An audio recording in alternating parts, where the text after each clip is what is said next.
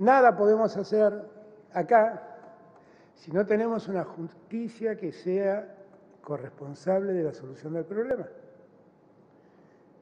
Porque el sistema está armado de modo tal que todos conocemos las leyes y que el que las rompe tiene que pagar el costo y el castigo por haber roto las leyes.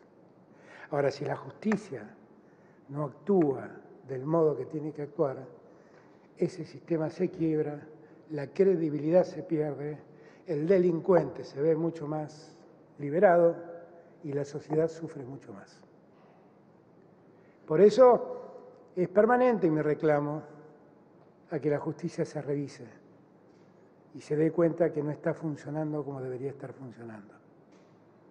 Y nosotros también tendremos que hacer nuestra parte, nación y provincias, en revisar la tercera pata del problema de la seguridad, que es el sistema carcelario. Mejorarlo, darle suficiencia para que el que sea castigado, como dice la Constitución, ese encierro le sirva para resocializarse y no para solo para que padezca. Ya de por sí la pena es un padecimiento.